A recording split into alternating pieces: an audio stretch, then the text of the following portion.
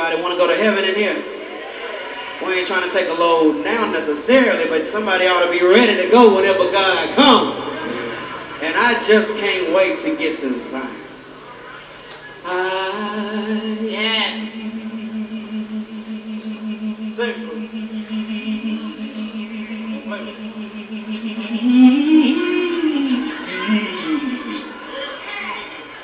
Got a few more. take me.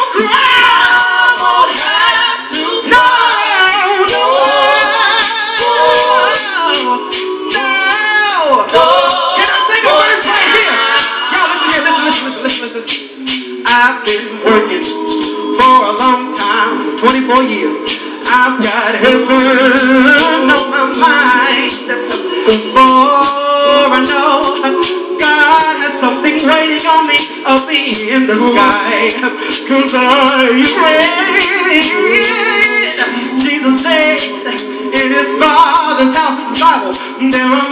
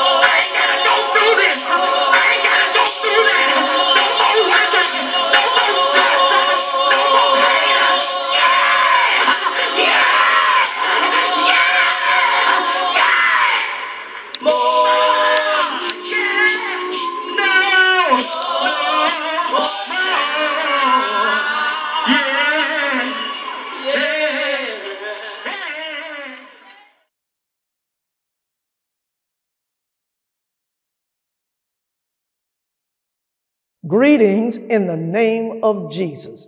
My name is Willie Rupert Jr., minister for the Central Church of Christ in Baltimore, Maryland. I want to thank Dr. Richard Barclay for the opportunity to be one of the speakers on this year Issachar conference, focusing on the thing, the playlist, taken from the book of Psalms. One of my favorite Psalms is 34 verses 1 through 3, where David says, I will bless the Lord at all times, and his praise shall continually be in my mouth. And my soul shall magnify the Lord and speak of his boast in my heart. And the humble shall hear thereof and be glad. Oh, magnify the Lord with me and let us exhort his name together.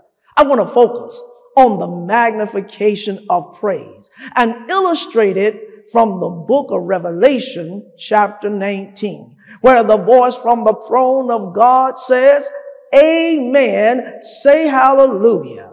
We want to observe praise. Well, here's the message. Praise the Lord. Revelation chapter 19, verses 1 through 5. The Word of God. And after these things, he says, I heard a great voice of much people in heaven saying, Hallelujah. Salvation and glory and honor and power unto the Lord our God. For true and righteous are his judgment. For he has judged the great whore, which did corrupt the earth with her fornication, and has avenged the blood of his servants at her hand. And again they said, Hallelujah. And a smoke rose forever and ever. And the 24 elders and the four beasts fell down and worshiped God that sat on the throne, saying, Amen, Hallelujah. And a voice came out of the throne saying, Praise our God, all you his servants, and you that fear him, both small and great. Surely you have heard those who address the pulpit or sometimes congregational and make the statement, Praise ye the Lord. It's with that backdrop from the text. You will lend me your heart and ears to this thought, praise the Lord. Praise the Lord. I want to give you the meaning, the identity of praise. Then to share with you the instrument of praise. Then the invitation to praise. Why is God worthy of praise? It's in our text. See, the Bible says and after these things, I heard a voice, and it said, "It's of great voice, much people in heaven, and they are saying, Hallelujah! Salvation to our God, glory and honor, power to Him. Why?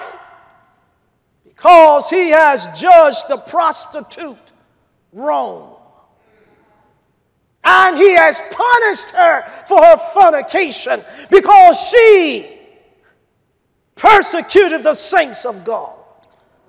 And because now he has brought freedom to his people, the voice from heaven says, Salvation, hallelujah, praise the Lord. I want to borrow your imagination to help us to understand praise, worship. Amen. Hallelujah. For I know it's difficult for us to shout hallelujah. Praise the Lord. Because of our culture, American culture. Because it seemed beneath us a freedom to bow down and say, Praise the Lord. But I want to borrow your imagination. Can you bring up the picture of the elders and the beasts?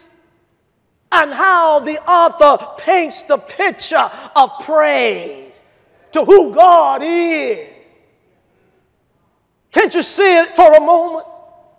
For the book says there are 24 elders. Can't you see them around the throne? And then there are beasts. They have, if you read Ezekiel's account, Isaiah's account, they are four beasts. They got eyes, four wings, six wings, two that fly, two is here, and two covering their feet. And there are eyes that cover internally and externally all over the place as they are all around the throne, 24 elders take off their crown and they just prostrate.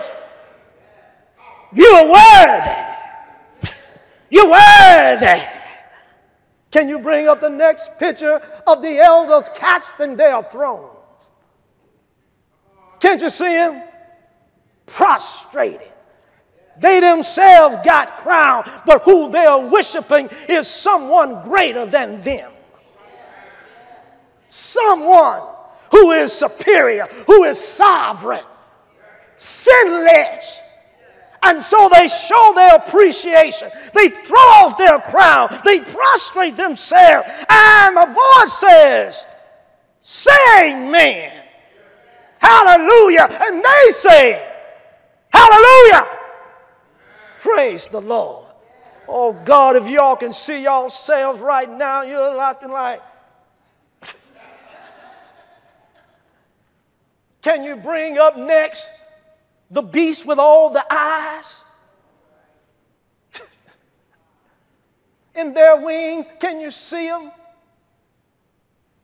Two to fly, to cover themselves, and then to cover their feet carrying the meaning of because who God is, He's too holy to hold sin. It's just like, my goodness. Then the fly is as messenger. They like this flying, flying, whatever God desires. And they're around the throne and then covering their feet. You're worthy. Do you know who we worship? Do you understand who God is? He's not our boy, He's not in our club.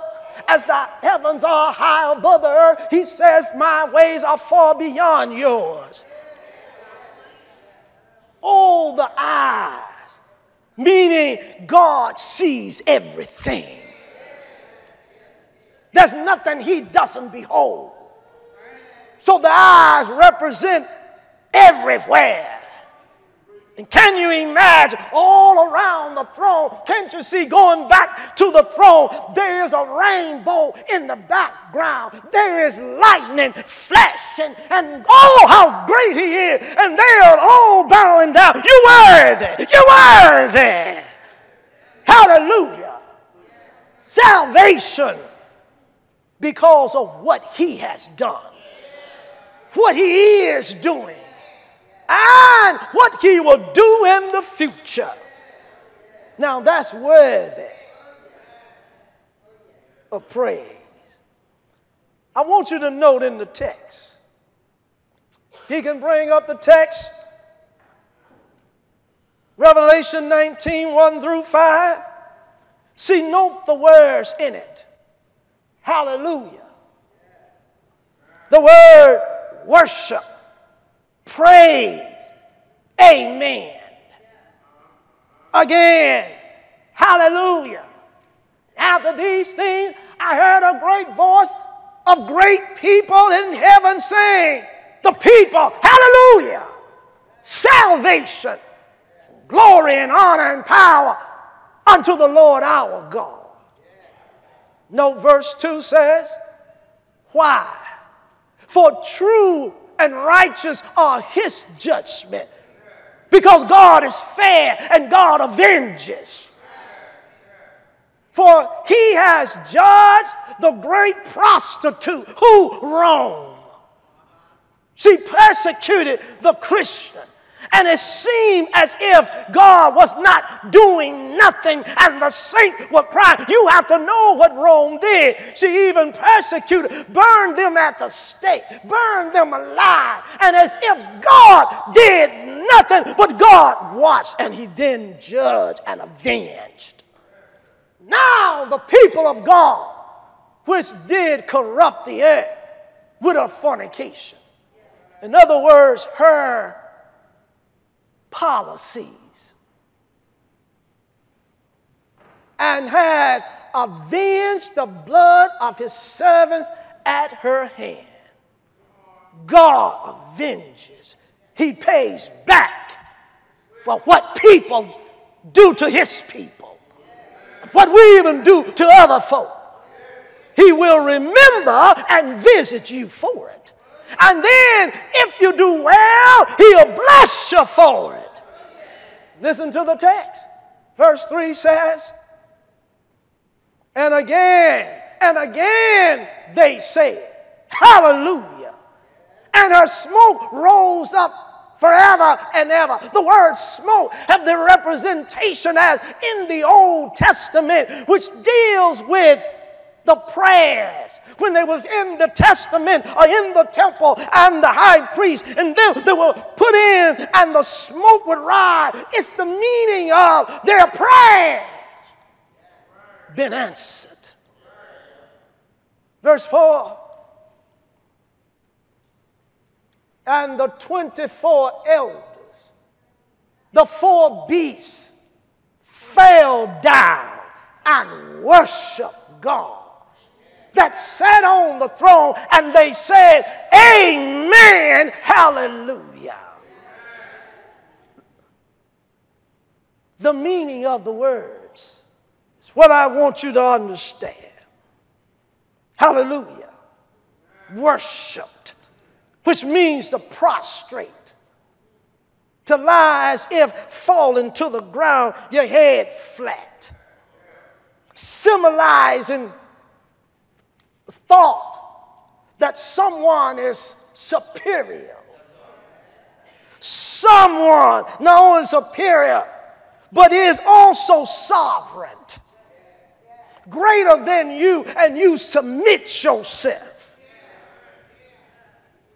I know it's difficult for us because we live in America, the culture. Who bow down? But you knew in the presence of God. See, note in the text, if the 24 elders who have crown, who gave them their crown? And if they could bow down to him, if the beast with the 24, they with all the eye could worship and all of them say, Hallelujah, Amen. Who are we?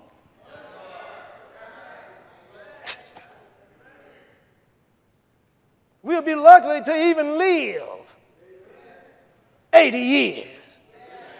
Yet they live forever because they are spirits. Are y'all following me? Our consciousness of who we are to think we really are somebody when we're nobody. People who sin every day and a God who cannot sin, yet capable of sin, can't even behold sin. So the creatures, the angels, as the text said, let everything that hath breath praise the name of God. Because he's worthy of praise. There is no God like him for no other God exists but Him. He called you and I into the world. He made the world.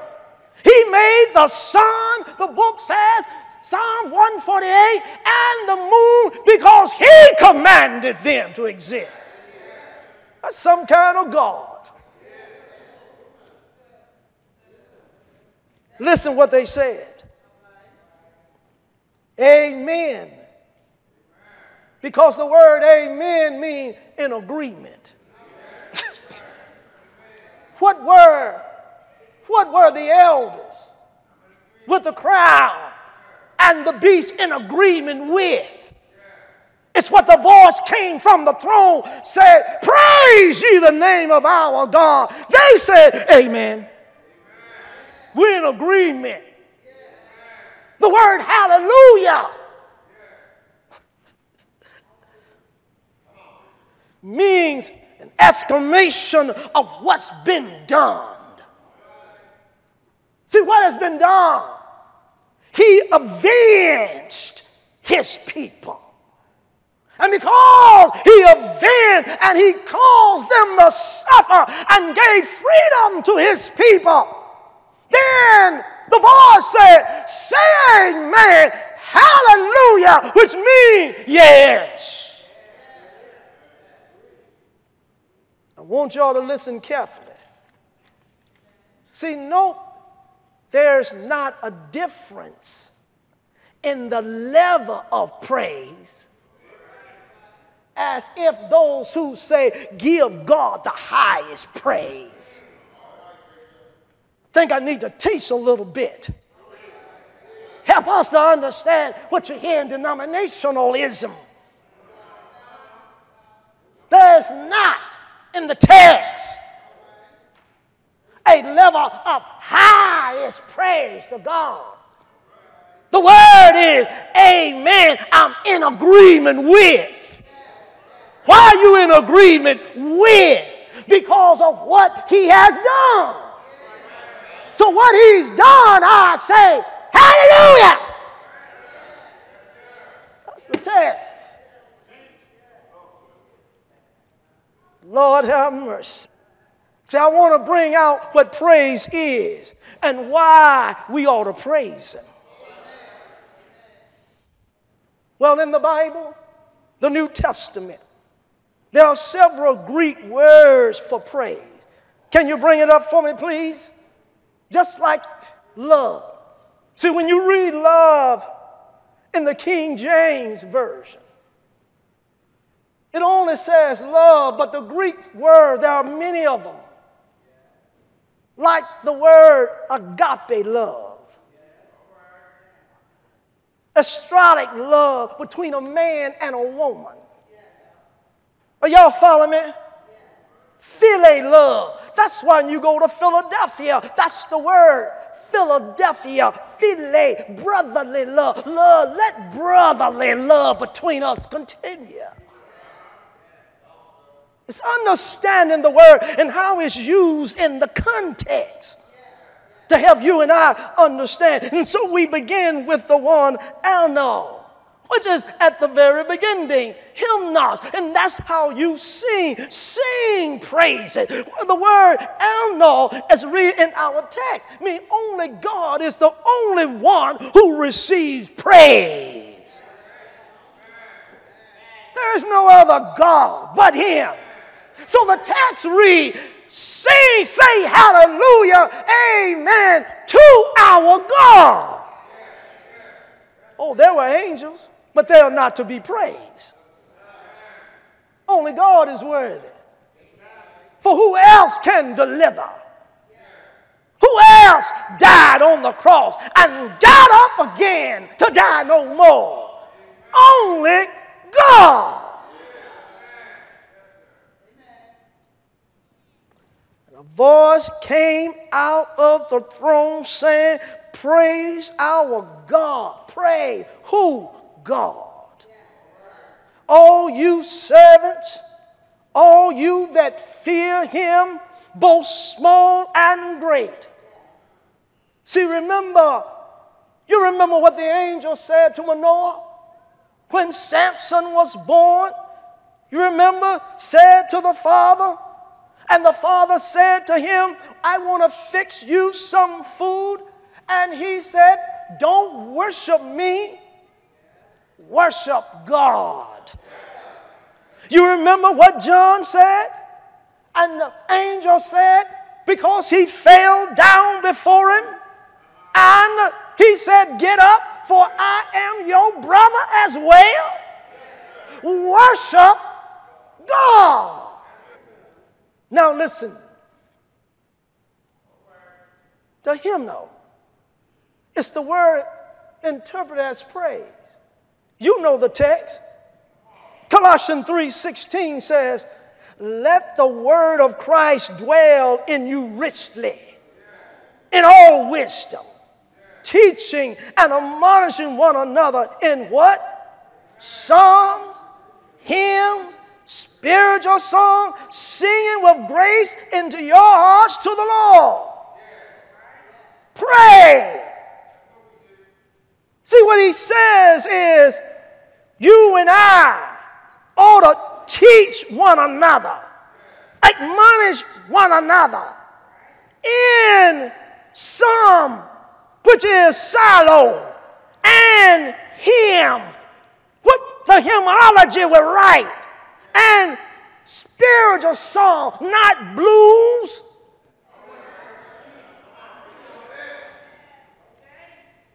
To the Lord, to sing, to praise Him. Note the instrument of praise.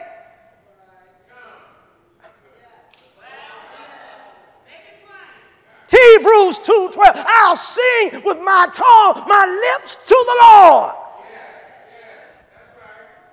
The instrument that gives praise for what he has done. I'm thanking him with the instrument, not an instrument that I play or blow or beat.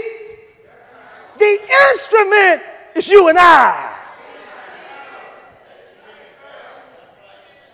Giving thanks always for all things to God the Father in the name by his authority. Now I want y'all to listen carefully. Colossians said, speaking to yourselves in psalms, hymns, spiritual song, the verb singing, making melody in your heart. The word melody simply means thankfulness. See, if the word melody means harmony, some of us are in trouble. Because how many of us, some of us, some, see, some of us can't hold a tune in a bucket. Tell the truth, shame the devil. Some of you try to avoid some sin by someone else because they'll throw you out of tune. Lord have mercy. I need the song leader to be in tune so I can get in tune. The text, the text. Singing, making melody where? If the melody is in the heart, then how does the melody flow out? You sing it. If you, yes, praise the Lord. Note that praises are expressed verbally in words, whether written or oral. Praise can be sung, sing praise, and praise is also applause.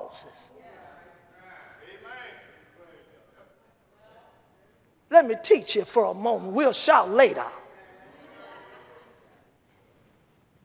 Romans 15, verses 10 through 12 says, and again he says, Rejoice, you Gentile, with his people. And again, praise the Lord, all you Gentile, and laud him all you people. The word laud in the Greek means is give him praise. See, sometimes you're hit, some folk, God is good. Some folk will stand up. Some will raise their hand. Some will shout. Some will just clap their hands. You see, God doesn't regulate your spirit, your emotion within you. Otherwise, you will be like Dr. Spock. Listen to me. So the Bible says when they hung him on the cross, and the sun refused to shine from 12 to 3. How that it touched the hearts of them, even the soldier. This must be the Son of God. On the day of Pentecost, when Peter stood and preached the good news, and said, You take, you took him and you crucified him with your wicked hand, but God have raised him up. And the book said, and they were pricked in their heart. What pricked them is what they had done. It touched their emotions. See, all of us have emotions. He's not seeking to make you motionless. So the Spirit uses such. Don't you condemn what God doesn't condemn. He doesn't ask you, ask you to act like someone else acts. Maybe you can just stay there and the tears not fall. But other folk can't help but just to cry.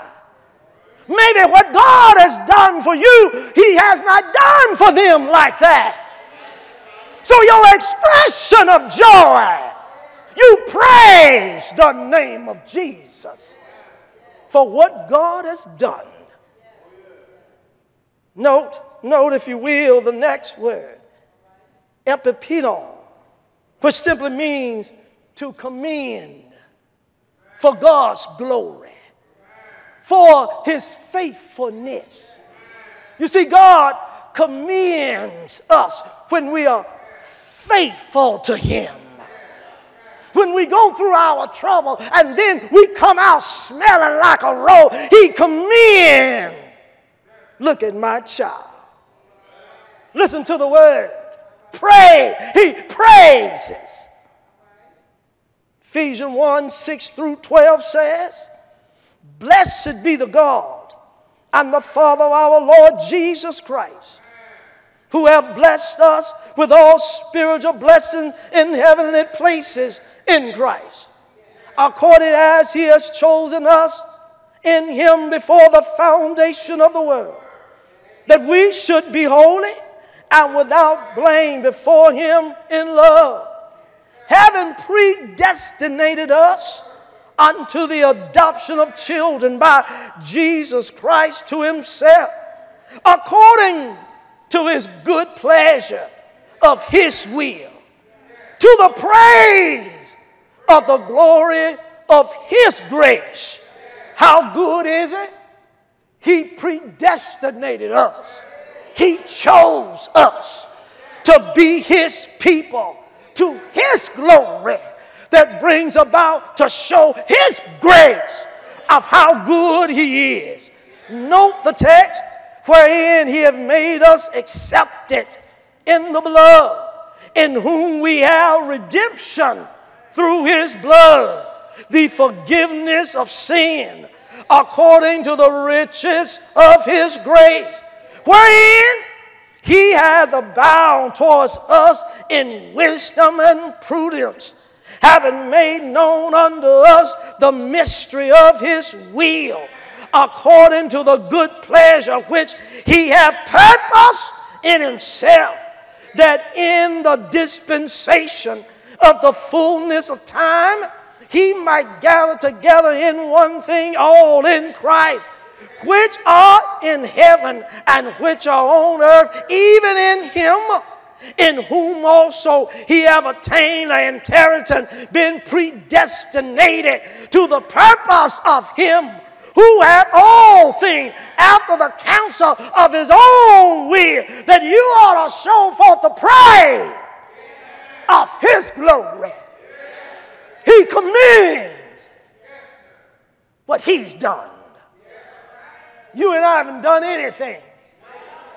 It's what he's done. Therefore, we give him praise. Well, another word for praise is eulogeo, which means to bless. See, David said, I will bless the Lord at all times. His praise shall continually be in my mouth. My soul shall make her boast in the Lord. The humble shall hear thereof and be glad. Oh, magnify the Lord with me. You see, during funerals, The word is eulogy. The preacher eulogizes, which means to speak good of. Even during time, bad time, difficult time, we speak good of God. God is good. And He's good all the time. Eulogize the Lord. Praise Him is the word, but the word is eulogy. He's worthy. How many of you believe He's worthy? You see, the bottom line as I close, there are other Greek words for praise, but I want you to get the picture. Can you bring it back up once again of the elders and the beasts? How that the voice that comes out and it says to God's people who have been persecuted that John sees the revelation of God, how they have been persecuted, how they have been misused and abused, how Rome have destroyed them. Yet they are now saying to God, How long? How long will you allow them to continue to misuse us. And he says to them, just keep quiet a little longer. Just be quiet. Shh. I'm doing my work. And when the time is right. And in this chapter of 19, finally at last, he rebukes, he avenges them. And then a voice from heaven, from the throne of God, can't you see the rainbow in the background? Can you see the lightning flashing and the thunder and rendering? And a voice comes from the throne Hallelujah! Praise ye the Lord. Say amen. And they all just fall down. What a word for the people of God. If you want to hear the full message, go to our website Central Church of Christ, Baltimore. Remember, God is worthy of praise. Be blessed, and God bless you.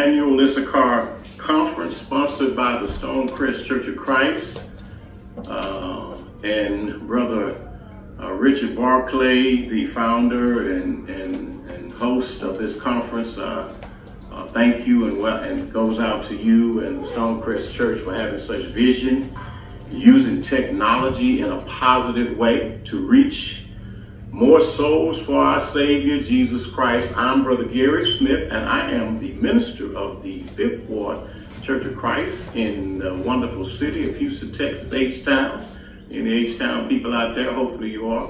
Uh, say hello to you and hello to all those that's listening from near and from far. It's just excited, excited, and, and thankful for the invitation to say a few words, speaking on the theme, the theme this year in 2024, playlist, studies in the book of Psalms. Uh, Brother Barclay uh, asked uh, me, and I'm sure the other ministers, to, for their uh, favorite text in the book of Psalms, and one just immediately came to me. Uh, unfortunately, uh, I use it quite often at funerals, but it's still profound even for any day and any time. And so I'll dive right in for time's sake. I chose the book of Psalms, chapter 90. Chapter 90. And the simple title of this uh, uh, discussion for a few moments is number our days. Number our days. It's nine, Psalms 90 and 12, very familiar text. So teach us to number our days that we may apply our hearts to wisdom. I took some notes just to stay on track. And so if you'll follow me, if you will, uh, your Bibles, hopefully you have them. I know you know this text, a number. What in the world, what does that mean? Well, not to count our days, not to count our days, but to make our days count. I just got a feeling, I got a feeling those that's listening, those that's watching this kind of, uh, some of you are old school. Uh, uh, I may look a little young, but I'm not that young. I'm still old school. Uh, but Barclay didn't ask, he didn't ask me what my favorite tune was. I, I like this title, this theme playlist. Uh, I guess old school, my favorite artist probably would be Stevie Wonder. Yeah, that's him. Stevie Wonder. I know you got yours, but I like Stevie. I like Stevie, but I certainly like the gospel songs from so many gospel singers and great gospel groups. Uh,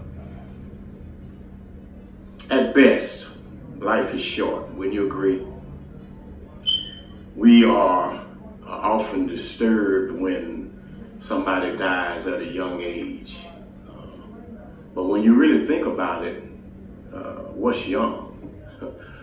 because God didn't count time the way we count our time. I mean, there seem like there are more people living to be 100 years old uh, today than ever before. People are living longer, and medicine and other reasons, uh, exercise, and just taking care of our bodies and getting off a lot of this medication People are eating better and living longer. But, you know, with God is a hundred, years is nothing. really, you think about it, and when people die young, even children die, we cry bitter tears. But remember in Peter, when Peter wrote through the Holy Spirit in Second Peter chapter 3, verse 8, but beloved, be not ignorant of this one thing that one day with the Lord is as a thousand years, and a thousand years as one day. Yeah. Compared to eternity, a hundred years old is nothing. We've only just begun. And then in the same text in the book of Psalms, chapter 90, chapter verse 4, it says, But beloved, be not ignorant of this one thing, for one day, one day, for a thousand years in the sight of are but as yesterday when it is past as a watch in the night. Mm number our days. What does that mean? It means to understand how few they are and how little a while we have to live in this world. Yeah. It means to teach us to be wise with our time, to teach us to live with a sense of urgency, to live as though we have a deadline to meet. One writer wrote this poem. It goes like this. It says, when I was, when as a child, I laughed and wept, time crept. When as a youth, I dreamed and talked, time walked. When I became a full grown man, time ran. And later, as I older grew, time flew. Oh, I'd agree with that. And then he goes on to say, soon I shall find while traveling on, time gone. Hmm. Well, what if I told you I would pay you $10 million if you tear down my house and build a new house, a new 3,000 square foot house, but I put a stipulation on it. It must be done in 30 days or less. you think you could do it for $10 million? I'll tell you what, I surely would be trying. Well, when we number our days, we we walk differently. Yes, we do. Yes, we do. I remember when I was playing football years ago. There was one of my buddies. He wanted to he wanted to come out for the team, but he was so cool. He was a good athlete, but he was just cool. He walked cool, walked slow. And he actually got on the team, came on the team. We, we were getting ready to play a game. Actually, it was a scrimmage game, and coach put him in, and he went to strolling out there with his cool self. he got in the huddle, ran on the, his cool self. I don't know what he was thinking, but he was trying to be cool and got a delay delay the game penalty. The coach pulled him out of the game. He said, son, what are you doing? Because he was trying to be cool. Well, when we are numbering our days, we walk differently. Uh, the psalmist put it this way in Psalms 101, you know the passage, blessed is a man that walketh not in the counsel of the ungodly. When we number our days, we don't have time for foolishness. You know, foolishness, you know, things that don't really matter. You know, sometimes as a preacher, I know Brother Barclay can relate to this, and we get all kind of questions. People ask us, well, is it a sin to go to clubs? It, is it a, do I have to worship every Sunday? Do I need to pray every day? Well, if you were working on my house and you had only 30 days, you wouldn't be asking those kind of foolish questions. Yeah, if you were working on my house and wanted to finish it in 30 days, you'd be working overtime, wouldn't you? Double time. You, you'd be more focused. And sometimes we, well, we waste so much time. You, you, I, oh, I've been guilty of it myself. We, we waste too much time doing nothing or doing things that are uh, just just not conducive to what we're trying to be. Mm. He goes on to say in verse 2 of Psalms 1, but his delight is in the law of the Lord, and in his law does he, does he meditate day and night. We're all your focus when we are when we number our day. When we number our days, we don't have time to waste. You know, if you're a married couple out there, you're married and, and and we, you know, you we, we, we you, you won't spend a, a week not speaking to your mate. I I tell sometimes, well, we haven't spoken in a week. What? A week? What is going on? Yeah, when you when we number our days, we we we we, we deal with issues and we move on. You know, when we number our days, we don't we don't we don't make every issue a life and death issue. We don't spend time, spend hours arguing over a dirty dish. Somebody left a, a, a towel on the floor. We we you didn't turn off the light in the bathroom, and I'm just you just make me so mad and so sick. I know I have my pet peeves too, but I tell you, as I get older, I, somebody testify to this. As I get older, man, look, I've got, I don't have time, time to waste being mad at my wife. I'm sleeping in my, I'm, talking, I'm we don't sleep in the same bed. I'm sleeping in my bed with my wife every night. Why? Because I'm trying to number my days. Mm-hmm. God have mercy. Help us, Lord Jesus. The scripture would put it this way. Whereas we know not what shall be on tomorrow, James 4.14. For what is your life? It's even a, a vapor that appears for just a little time and then it vanishes away. You know, when we when we number our days, you know, even sleep is not as important. and I'm not being sarcastic, but but if you if you were working on my house, you know that house trying to get those ten million dollars, yeah, you, you, you find that you didn't need to sleep as much as you thought you needed to sleep because you can't finish this house if you sleep sleeping all the time. The Proverbs writer he put it this way in Proverbs chapter twenty verse thirteen: Love not sleep, lest thou come to poverty. Open thine eyes and thou shalt be satisfied with bread. Yeah it's, we have this more of a sense of urgency when we number our days. I mean, we wake up every morning with direction and purpose. We want to do it today, right now, instead of trying to see how much, you know, how much we can, know, we go on our jobs and we try to see how little we can do. When we number our days, we see how much we can do in the allotted time we trigger, we try to figure out ways to just get it done, get it done, get it done. when we, when we number our days. Hmm.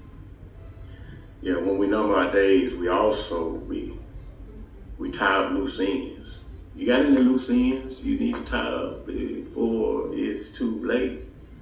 When we number our days, we, we do the undone. Yeah.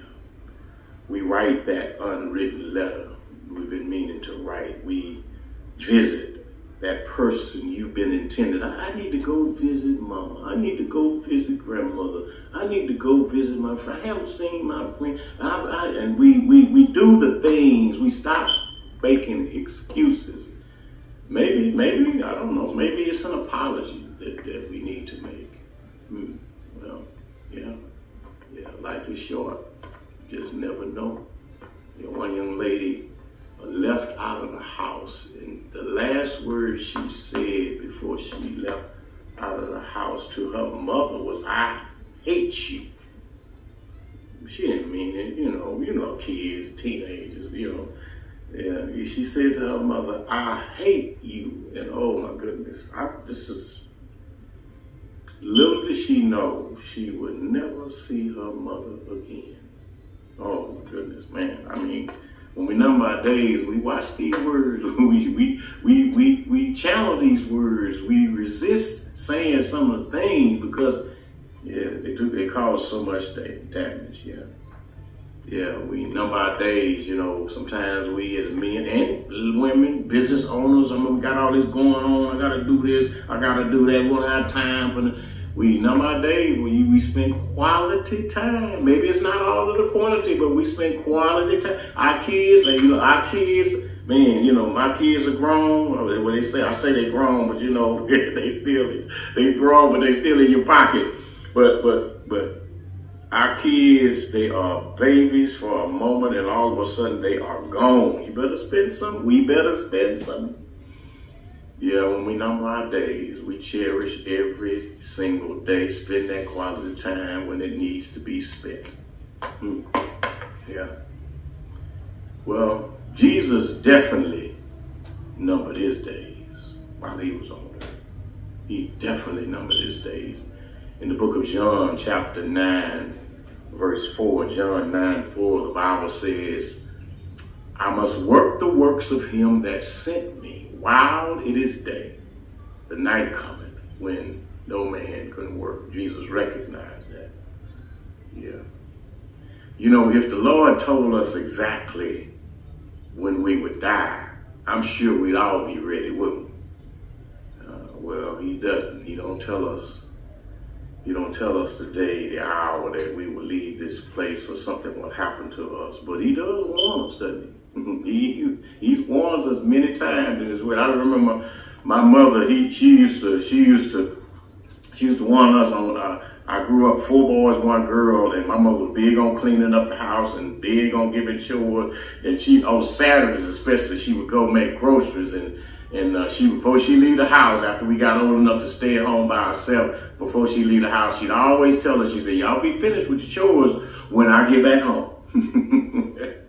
She said that many times. She said, when I get back home, but she never would tell us exactly when she was going to be back home. And it would change sometimes. Sometimes she fooled us and she come back. She stayed home all day long, come back late. And we said, oh, she, mama, she, she mama not going to be back till late. And then she slip up. She, she, and sometimes she come back, look like she wouldn't be gone. But an hour, hour and a half, we scrambling, trying, trying to get, get things done.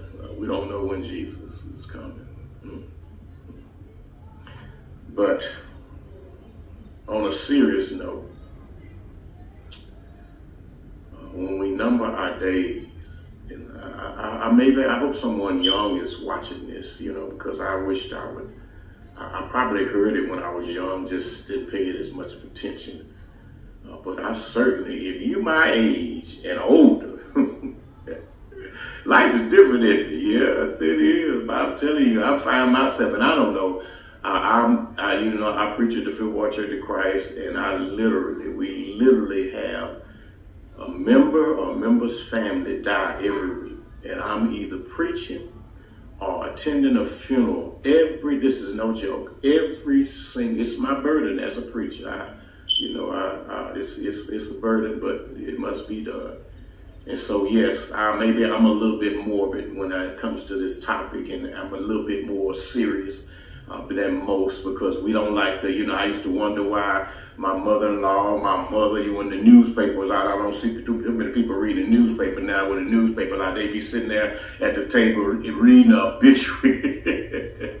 read the obituary. I'm like, why, why they read the obituary? And I know now as I get older because they looking for people, friends, people I know so and so. Oh, Lord have mercy, so so, and. And, Lord, and, and, and after a while, somebody going to be reading about us.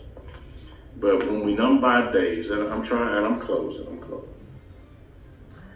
When we number our days, shouldn't we certainly search the depths of our souls to start preparing as our day gets closer? Hmm. Yeah. We, we, we, we ask a serious questions. When I die, am I confident that I meet my Maker in peace when I die? And for those, uh, perhaps, I hope this reaches the right person. Perhaps you a Christian, perhaps you were searching, perhaps you in the in the dungeon, you in a dark place, and but you know there's a God. You know you need to be doing things in a different way and be pleasing to God. Well, when you number your days, you you you you you you know you're out of step. You know how to get back. You know what to do. And It's not like God asks us to die on the cross again, but you do have to repent, turn from, repent of your sins, and ask the Lord for forgiveness. If, you, if you're a Christian, you have that benefit. If you're a Christian, you have the ability to, to humble yourself and ask the Lord for forgiveness. And the Bible says He's faithful just to forgive us of all of our sins. Luke 13, 3 and 5. I tell you, neighbor, except unless you repent you shall all likewise perish. Yeah. I mean, even if if if, if you if you don't have a strong faith in God, uh, even if you don't don't know enough about God, if you knew that you had only three days to live, you would surely spend, wouldn't you surely spend at least one of those days searching, trying to find answers to the real purpose in life, wouldn't you spend one of those days, if you knew you only had a little time left, wouldn't you spend one of those days asking yourself, when I die, what happens to me?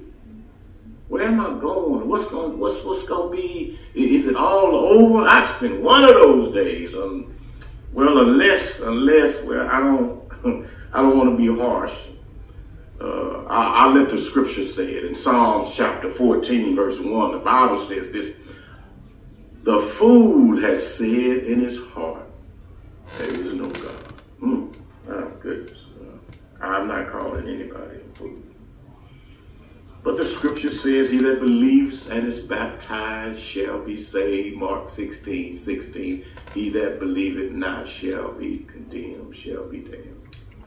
Yeah, when we number our days. Praising God and having favor with all the people in the Lord, added to the church, such as should be saved. Saved from what, Gears? Saved not from a spanking. Mm-hmm. like teachers put you in time out.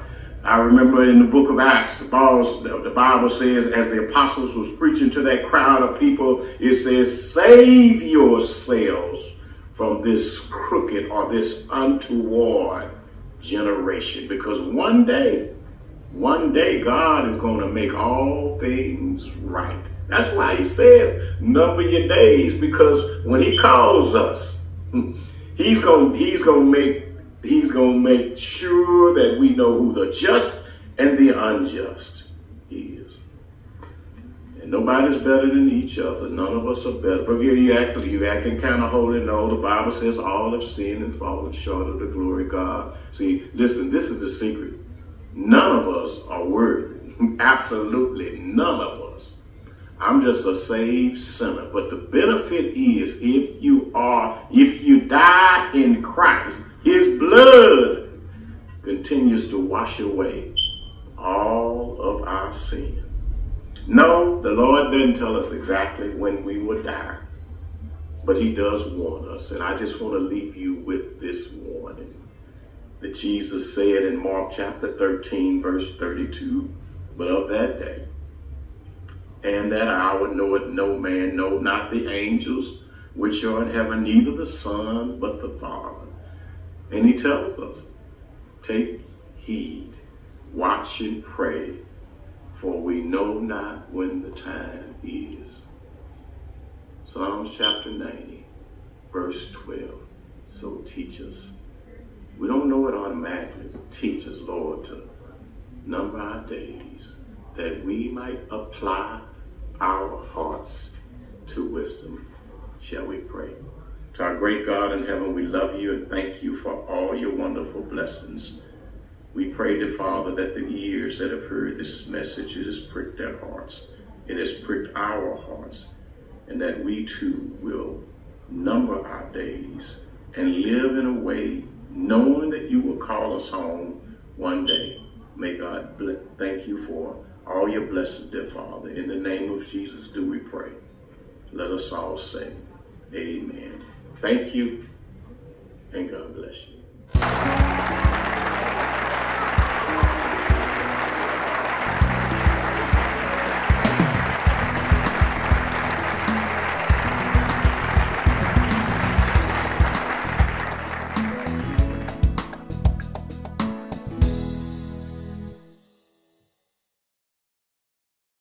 verses 1 through 13, Psalms 51, verses 1 through 13. Um, while you're standing, I got a praise report. Um, and I got to go ahead and say it. Um, I didn't really let too many people know, but my mom, she was really going through it. Um, she's been in the hospital for a while. She was, um, it didn't look too good. Um, but God allowed her to come home yesterday. And so if you see me walking around with a smile and a different glow, my mom is home. So that, that's a good thing. Uh, amen. When you, when you got it, say amen. amen. Here is what David says. He's praying to God. He says, Be gracious to me, O God, according to your loving kindness or your faithfulness. According to the greatness of your compassion, blot out my transgressions. Wash me thoroughly from my iniquity and cleanse me from my sin. For I know my transgressions, and my sin is ever before me. Against you, you only have I sinned and done what is evil in your sight, so that you are justified when you speak and blameless when you judge. Behold, I was brought forth in iniquity, and in sin my mother conceived me. Behold, you desire truth in the innermost being, and in the hidden part you will make me know wisdom. Verse 7 is the best verse. He says, Purify me with hyssop, and I shall be clean. Wash me, and I shall be whiter than snow. Make me hear the joy and gladness, and let the bones which you have broken rejoice. Hide your face from my sins, and blot out all my iniquities. Create in me a clean heart, O God, and renew a right spirit within me. Cast me not away from your presence, and take not your Holy Spirit from me. Restore to me the, the joy of your salvation, and uphold me with a right spirit, so I may teach uh, transgressors your way, and that sinners may be converted to you. Um, that is the word of God for the people of God. This morning, uh, if you don't mind, I want to speak to you um, from the topic I need a fresh start. But what do you do? Where do you go when you need a fresh start? It's interesting because we've all been there before.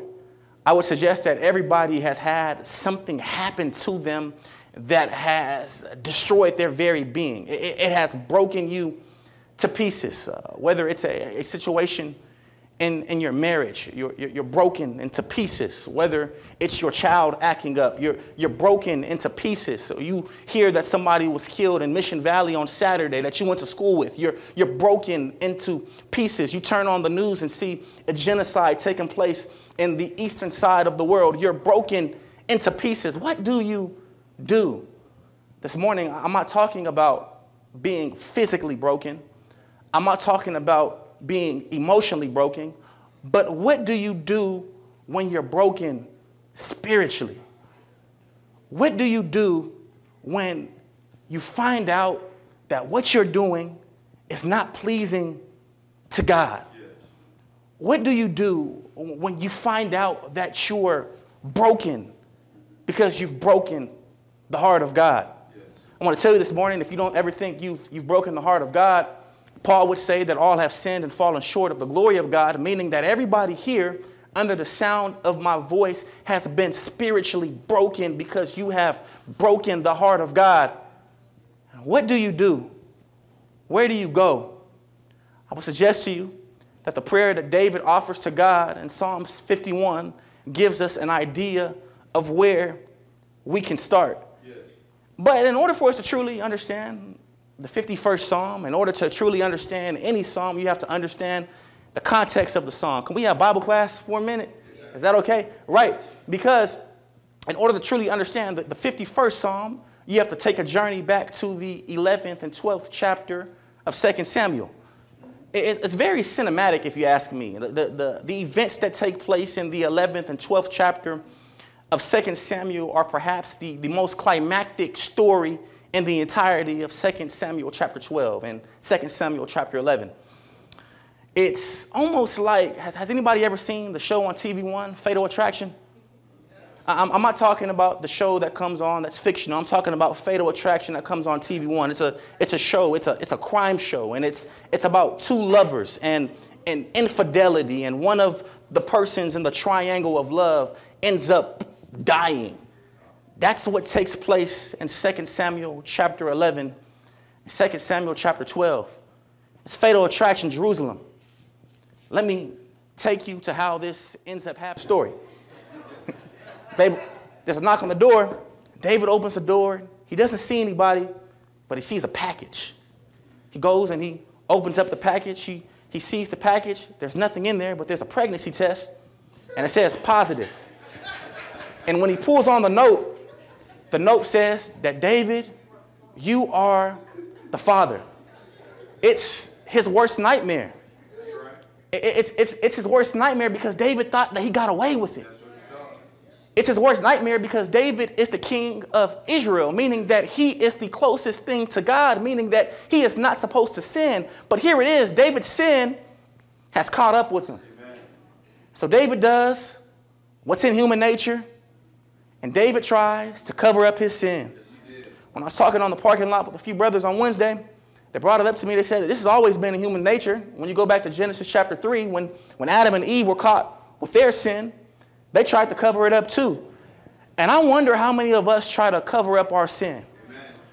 David is concerned about his reputation. Yes. He's concerned about his identity. Yes. So he tries to cover up his sin. And so he tries to devise up a plan. He, he devises a plan. He asks for Uriah to be uh, sent back to him. Uriah comes to him. David tells him to go home and to be with his wife. Next morning, David wakes up and Uriah is asleep at the palace, the door of the palace. David is confused because anybody in here that's, that's served in service, when you've been out for a long time, when you come home, naturally you would want to be with your wife. You'd want to eat some home cooking and sleep in your bed. But, they, but Uriah was a righteous man. Bible says that Uriah responds to David, how could I go home and, and sleep with my wife and sleep in my bed when the Ark of the Covenant is still at war? And, and my comrades are still at war. I just wouldn't feel right. And so David says, all right, he, he gets Uriah drunk, tries to send him home again. Bible says that Uriah falls asleep at the palace again. And so now David has done all that he can do, and he has to cover it up. And so he devises the ultimate plan to have Uriah put to death. So here's what David does he, he, he, gives orders in the form of a letter, and he gives it to Uriah. And Uriah walks and he gives it to Joab. And Joab puts Uriah at the front lines. And when the time comes, he has all of the men pull back, and Uriah is killed on the front line. Joab sends a report back to David. No comment on what the report says. But needless to say, it is sufficient to say that David's secret is kept because Uriah is now dead and he can take Bathsheba to be his wife. It's the ultimate fatal attraction. It would appear that that's the end of the story. David has successfully covered up his sins. But I hear the words of the old poem and the song that we used to sing in church when I was a son, when I was a kid by John M. Henson. And it goes like this all along the road to the soul's true abode, there's an eye watching you. Every step that you take, this great eye is awake. Brother McKenzie knows it. That's a, there's an eye watching you. Watching you, watching you every day, mind the course you pursue. Watching you, watching you. There's an all seeing eye watching you. David had successfully hidden his sin from the people, but the Bible says that the thing that David did was evil in the sight of the Lord. Amen. And it's interesting because you can fool all of the people some of the time, yes. and you can fool some of the people all of the time because, in the words of main ingredient, everybody plays the fool. There is no exception to the rule. It may be factual, may be cruel, but everybody plays the fool sometime. But you cannot fool God at any time. And let me stop right there because sometimes we do everything in our power to hide our sin from people so their opinions about us won't change, so that our reputations will stay intact, that we neglect to consider the one that knows all. And so the fatal attraction show continues. When you get to the 12th chapter of 2 Samuel, we're introduced again to the prophet Nathan, and Nathan is like a detective in the story. He's presented with evidence, but the evidence that he is presented with comes from an eyewitness account. But check it out the eyewitness account is the God that sees all and knows all. Right. So God tells Nathan, go tell David about himself. For real. Nathan goes to David and he tells David a story about two men. He says that there was a, a rich man yes. and there's a poor man. Right. The rich man in the story, he has all of these sheep, sheep on sheep on sheep, sheep in the house, sheep in the front yard, sheep in the backyard. But the poor man, he only had one little lamb whose feet was as white as snow, and everywhere that the poor man went, the lamb was sure to go. The, the lamb did everything with the poor man. He ate with the poor man. He slept with the poor man. He was raised with the poor man's kids. The Bible says that he was like a daughter to the poor man. Nathan says that one, at, one point in time, there's a traveler that comes into town, and, and the traveler wants one of the, the rich man's sheep. Right. But instead of the rich man giving him his sheep, the rich man takes one of the poor man's, the only little lamb that he had. And this strikes a nerve within David because if you're familiar with the life of David, David, before he became a king in his earlier years, before he was a warrior, he was just a, a little shepherd from, from Bethlehem. And, and he stands up and he says, This man ought to pay four times what the lamb cost. He ought to be put to death. And I can imagine Nathan as he just stares at David. He says, David, the man is you the glove of guilt fits you. Amen. And then he, he has to let David know about himself because David was so quick to cast blame on another man, but wasn't willing to take his own blame. Amen. And I have to talk about us sometimes, right? Because sometimes we're so quick to, I wish I had my phone out here, we're so quick to, to pull out our phones and turn on our camera and, and put a flashlight on other people's sin when we should really be pressing a button on the phone and taking a selfie because we too are sinful. The audacity that David has. So Nathan has to take David down a, a, a, trip down memory lane.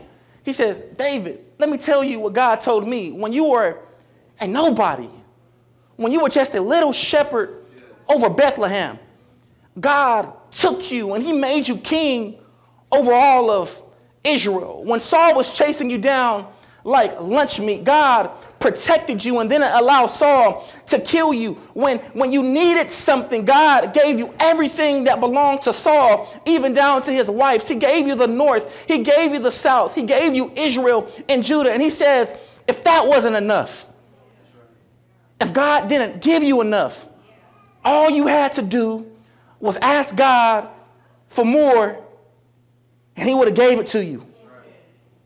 It was like a slap in the face to God. But before we cast judgment on David, if we just read the story The text is like a mirror with our reflection looking back at us. Because when we really, truly reflect on everything that God has done for us, how He's woken us up every morning, how He's gave us safety from point A to point B, how He allowed your child not to be a part of a, of a school shooting, how He kept a roof over your head, how He protected your children, how He healed your body when you were sick, how He blessed you with a job you didn't qualify for, how He put money in your account to pay your bills, how He gave you a Savior you didn't deserve. Yet you still rebel against Him. And so here David is. He's wrong God. And Nathan says, David, here's what your punishment is going to be. God will not kill you, but he still has to punish you. Right. Punishment number one the sword will never leave your house. Right. Somebody was always going to be dying mm-hmm. in your family. Yes. Punishment number two you slept with Uriah's wife in private, but I'm going to allow someone to sleep with your wives, plural, in public. And all of Israel is going to know about it. Punishment number three and what appears to be the harshest punishment, but not truly the harshest punishment. He tells David that I'm going to take the, the son that Sheba, Bathsheba is carrying. And when you read this, you might say that that is harsh, but no. What is harsh is when we continue to wrong God after He gave us everything, and then we try to cover it up. And at some point during this entire situation, David finds himself in prayer. And that's where we get to the 51st Psalm. It's one of the most passionate prayers in Scripture. It's one of the, the most pain filled uh, prayers in Scripture. As you read it, you can sense the urgency on behalf of David. You can sense the intensity and the passion as he is asking God for a fresh start. Some people think that the worst consequence of sin is the effect that it has on other people. I would tell you no. Some people would think that the worst effect of sin is the effect that it has on you. I would tell you no. But the worst effect of sin is the effect that it has on God. That when you sin, you literally bring God to grief. And so when David is confronted with his sin, he is broken because he realizes that he has broken the heart of God. It breaks David to pieces, and his disposition changes from how can I cover this up to how could I do this to God. And I wish, as a people of God, 2024, when we were confronted with our sins and how it grieved God to his core, that it would bring us to our knees before God. I wish that, that when we sinned and when we thought about our sin, it would bring us to tears because we think about how good God has been to us. It pains David so much that when he opens up the psalm, when he opens up the prayer, he says, God, have mercy on me. Be gracious to me. He says, I need a fresh start. But as we look through the prayer, David shows us a few things. One of the first things that he shows us is that in order for him to be given a fresh start, he needs to openly confess his need for a fresh start and accept the reality of his flesh being the reason of his need for a fresh start. All that is saying is that David needs to be accountable and responsible for his actions. Here it is. He opens up. He says, Be gracious to me, O God. That word gracious, it's synonymous with the word mercy. It's David's plea asking God to give God something that he doesn't deserve. He's asking God literally to, to, to, to, to, to be moved with pity on his behalf. He's saying, God, I, I've done something and I recognize what I've done and I recognize the punishment that I deserve for what I've done, but what I need you to do is withhold from me what I deserve. Right. Have you ever been there before? Yeah. where, where, where you're pleading for mercy for something that you got caught doing? I remember in the sixth grade, I got in a fight at school and I got suspended. And it was right around the time of sixth grade camp. And my grandma, she didn't know I got suspended. I was just home when she came home and she picked up the phone. And that's when the, uh, the teachers used to leave voicemails on the phone. They, they left a voicemail. I tried to erase it. It didn't get erased. She, sin. She picked up the phone. She heard that I had been suspended from school. And she didn't say much. She just walked in the, the living room and said, You can't go to sixth grade camp. I had, I had been wanting to go to sixth grade camp since I was in the second or third grade. Uh, to go to Camp Palomar, to go to Camp Julian, or wherever they went. And my grandma told me I couldn't go. And I vividly remember pleading to her, please let me go. I, I'm asking for your mercy. When, when David is asking God to be gracious to him, he's literally pleading to God to withhold his punishment. Right. But not only is he just pleading, but there's some intensity with the pleading. He's pleading in the imperative form of God. It portrays a sense of urgency. This isn't just a, a powerless prayer given by David, but it's a passionate prayer. He says, Be gracious to me, God. And then, as you continue to read through the psalm, he begins to acknowledge the reason he needs God to be gracious to him. His reasoning is in nearly half of the psalm. Here it is. He says, Because he has offended God. Verse number one, he says, My transgressions. Verse number two, my iniquity and my sin. Verse number three, my transgressions and my sin. Verse number four, I have sinned and done evil. Verse number five, my sin and my iniquity. There is a sense of accountability on the part of David. Yes. He doesn't just say that he sinned once, but he recognizes that he continues to sin over and over and over again. Notice what David does. He doesn't deflect blame. He doesn't rationalize. He doesn't justify. He doesn't try to blame Bathsheba for his actions. He doesn't try to blame the person that sent for Bathsheba for his actions. But David accepts full accountability. And we can learn something from David in that sense. Because we as humans have a, te- a, a, a tendency to blame others. Adam blames Eve.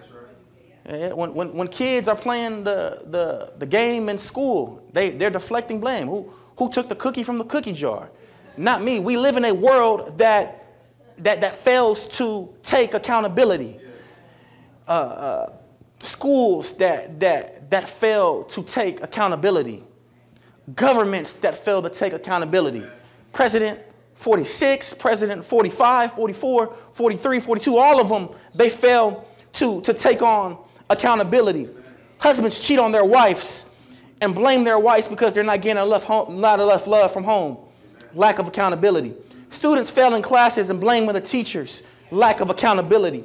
People treating people any kind of way and blaming the other person for their action. No level of accountability. And here's what David shows us. Before we can be given a, a fresh start by God as it relates to the deserved punishment for our sin, it is going to take a level of accountability. And that accountability has to be rooted in humility. That's right. That's right. And it's interesting because we can still learn some more things from David. David is not telling God something that God doesn't already know. That's right. But David is merely letting God know that he knows yeah. that he offended God. God, I did it, right? Because in order for David to truly be restored, his confession has to serve as the catalyst. And let me tell you something this morning. When we confess our sins before God, it's not on the basis of us telling God something he needs to know, because God is omniscient, he already knows. But when we confess our sins to God, it is us letting God know that we are convicted by our sins.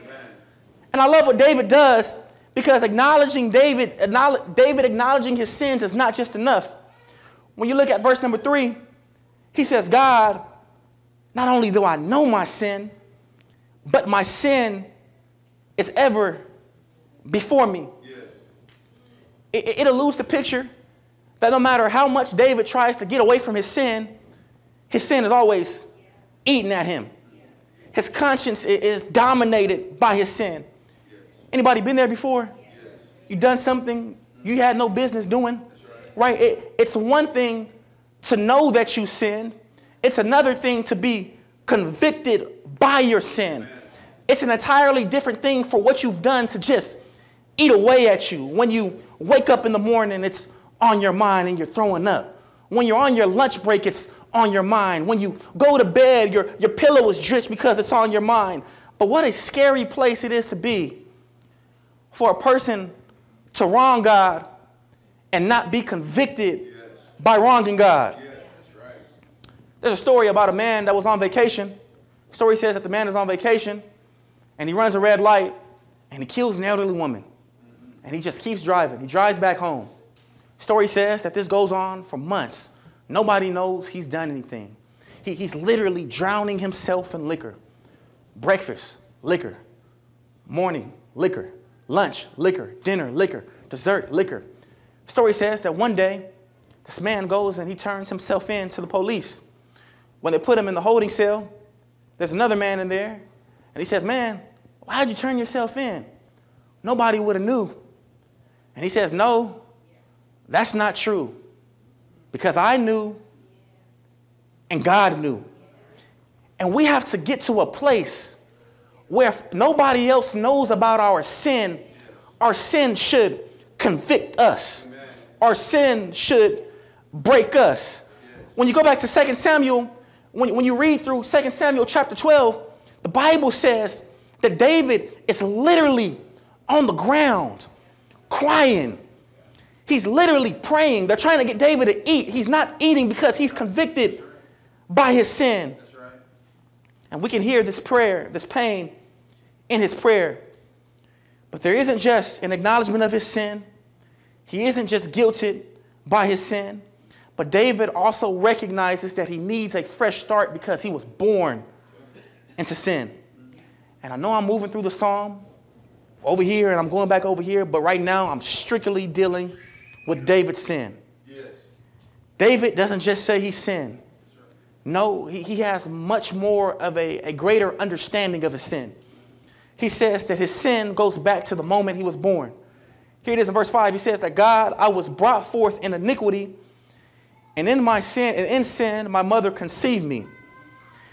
He is not speaking in the way by which he was born, but he is telling God, God, I was born with a spiritual problem. The defect I have is spiritual, it's not physical. Physically, when something is wrong with you, we call it a birth defect. It's a physical or bio biochemical abnormality that is present at birth and may be inherited as a result of an environmental uh, influence. It can almost uh, affect any part or parts of your body.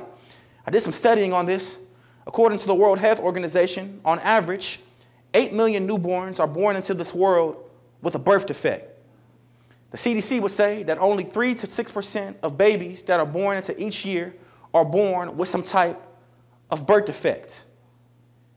And while that may be true, as of January 1st, 2024, according to the census, there are currently 8 billion people in this world.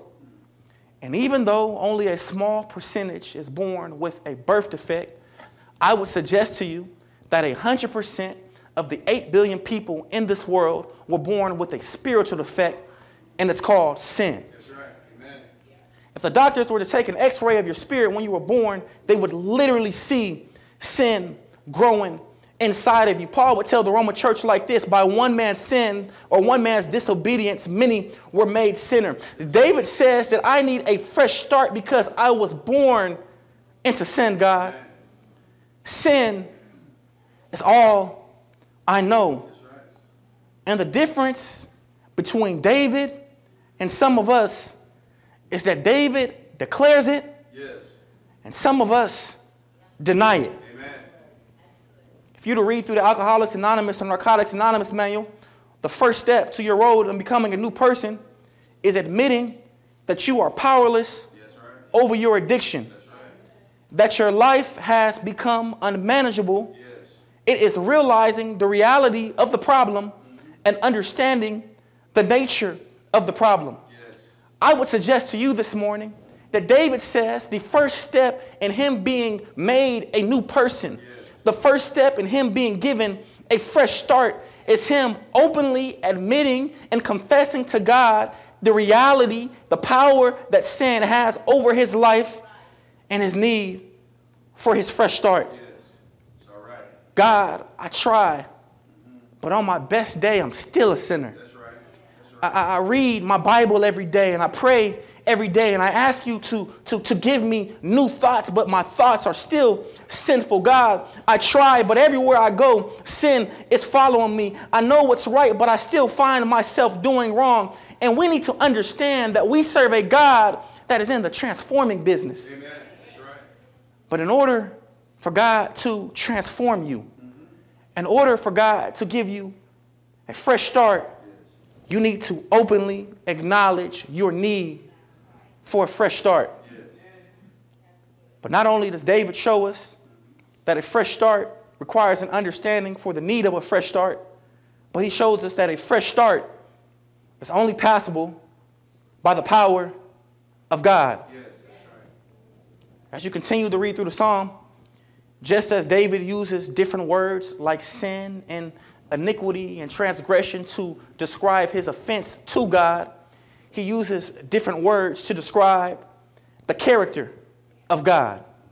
And as we continue to read, we begin to get the sense that David recognizes that the fresh start that he needs can only be given by God. Here it is from the start of the prayer. He says, God, be gracious to me. God, I need you. He recognizes that God has the power to give him something that he needs, but the language would suggest that David fully understands that it has nothing to do with who he is, but with everything to do with who God is. That's right. That's right. He says, be, be gracious to me according to your character, your, your, your loving kindness, and the greatness of your compassion. Notice, everything that David is asking to be transformed to is predicated by the work of God. He says, God, I want you to remove my iniquity, but it's a result of God washing him. God, remove my sin, but it's a result of God cleansing him. God, make me clean, but it's a result of God purifying him. I want to be whiter than snow, but it's a result of God washing him. David recognizes that the person that he wants to become, the fresh start that he wants, is not possible by his own doing, but is only possible by the power of God. And what we need is not power that is within ourselves, because the power that is within us is not enough. But in the words of D.A. Carson, what we do need it's the power of the sovereign, transforming God. You break it down, check it out. The moment David realizes that he is flawed in nature, when the prophet Nathan uh, uh, confronts him, David has now been convicted in such a way that he reaches out to God. He asks God to operate on his behalf. Yes, right. David is imperfect, but God is perfect.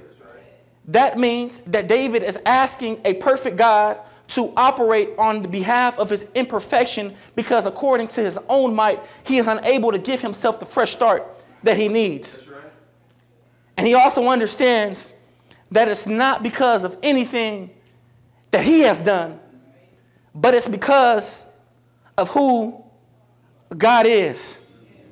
And I got to stop right there because I wish that, that we would be a people that would openly admit yeah. that God operating on our behalf is not because of anything we've done. It's not because of who we are, but it has everything to do with God is. There was nothing you could do to, to, to merit the unmerited favor of God. Exactly right. All right, let me put the shoe on my own foot. I've talked to people all types of ways. I, have done things that, that I knew were no good. I, I found myself riding in cars that I had no business being in. But God. Let me, let me press pause and rewind. Let me, let me bring it back to David. David recognizes that he committed adultery and murder, which is punishable by death according to the Levitical law. David recognizes that he sinned trying to cover up his sin. But David recognizes that he has nothing inside of himself to bring him back to God. So he asks God to bring him back into relationship with him. Because David realizes who he is. But he also reaches out to God because he knows who he is. He reaches out to a God that tells Moses, I will have mercy on who I have mercy on, and I will be compassionate unto who I will show compassion to. I am merciful and gracious, long suffering, and abundant in goodness and truth. We have to get to a point where we understand that there is nothing inside of us that is worthy of God giving us a fresh start. There is no strength inside of us that is strong enough to give us a fresh start. There, there, there is no force inside of us that is capable of giving us a fresh start. The only person, the only being capable of giving us a fresh start is God Himself. But in that same breath, because God knows, because David knows who God is, because David knows that only God can give him the fresh start that he needs, David also knows that God is just. Meaning that God cannot just simply overlook what David had done. God cannot just simply withhold punishment from David because sin is offensive to God and God has to punish things that is offensive to him. But here it is. In verse 7, David realizes that in order for God to give him a fresh start, something has to take the place of his punishment. He says here in verse 7, and I'm almost done. He says, Purify me with hyssop, and I shall be clean. Wash me whiter as snow. One could argue that verse 7 is the most intriguing verse of the entire prayer. Theologian and renowned scholar James Boice would say that it's the most important verse, but it's the least understood verse. That's because we don't truly understand that the fresh start that David is asking God for is rooted in God's actions in verse number seven. Brother Ozzy, he says that I want you to purify me with hyssop. A lot of us, we skip over this because we don't truly understand the historical significance of what the hyssop plant was used for. The hyssop plant itself did not heal you, but it was used to, to cover a sacrifice or an offering with blood. If you're, if you're familiar with the narrative in Exodus, when, when, when, when, uh, when Egypt, when the people in Egypt, including the Israelites that are there as well, when they are about to be hit by the plague of death that is sent by God as a result of Pharaoh's rebellion, God tells them to kill over a lamb for the Passover, and then to take a bunch of hyssop, and then to, to take the hyssop and dip it in blood, and to put it over the doorpost. And when the angel of the Lord came, when the angel of death came to bring death on the households, death would skip over the households that were hit with the hyssop with blood because it would signify that something had already took the punishment. Because here it is, without no blood, there would be no skipping of death. Without a sacrifice and shedding of blood, there is no cleansing. Come here, Hebrew writer. The Hebrew writer would say it like this according to the law, all things were cleansed with blood, and without the shedding of blood, there is no forgiveness of sins. Right. David recognizes that he cannot just be given a, a, fresh start based on who he is, because who he is is what placed him in a position to need the fresh start. Right. What he did deserves punishment. Right. But in verse 7, David openly acknowledges before God that he knows that something has to take the place of his punishment. When David says, Purify me with hyssop, and I shall be clean. Wash me whiter as snow. David is literally telling God, I need you to remove my sin. I need you to unsin me with the sin, with the blood of something else. Yes. Ooh, we. I could end the sermon right there, right? Because David is not the only person that needed the sacrifice of blood to clean him. That, that there was nothing in David that could give him a fresh start. But everybody in here, under the sound of my voice, could acknowledge that there was nothing that we could do to bring us back into the presence of God. And so we needed something to take our place. But this time, God didn't give us something, but He gave us someone. This time, it wasn't sprinkled with hyssop, it wasn't the blood of an animal, but it was the blood of Jesus. Come here, Paul. Paul would say it like this It's in Jesus who we have redemption through his blood, the forgiveness of sins according to the riches of his grace. What can wash away my sins? Nothing but the blood of Jesus. What can make me whole again? Nothing but the blood of Jesus. Oh, precious is the flow that makes me whiter than snow. No other fount I know. Nothing but the blood of Jesus. What can turn a saint into a sinner? Nothing but the blood of Jesus. What can turn a person who was powerless in pain to being powerful in person uh, and purpose? Nothing but the blood of Jesus. What can take a person who was broken and put them back together again? Nothing but the blood of Jesus. We have to recognize that the blood of Jesus is not because of anything that we've done, but it was given to us because of who God is. And David recognizes in order for him to be given a fresh start, it is because of who God is.